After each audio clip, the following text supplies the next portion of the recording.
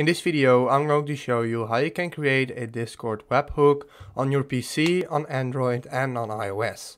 So what you want to do, you can see right here are the webhooks, but let me show you how I got here. What you need to do, you want to go into your server, so you want to go to the server and create a channel where you want to add the webhook. And then what you want to do, you want to go into the server settings right here. From there, integrations, and here we can create a webhook. So this is basically how you can get there. From here we can hit create web, uh, a webhook and we can name this whatever we want and choose the channel which will be this one.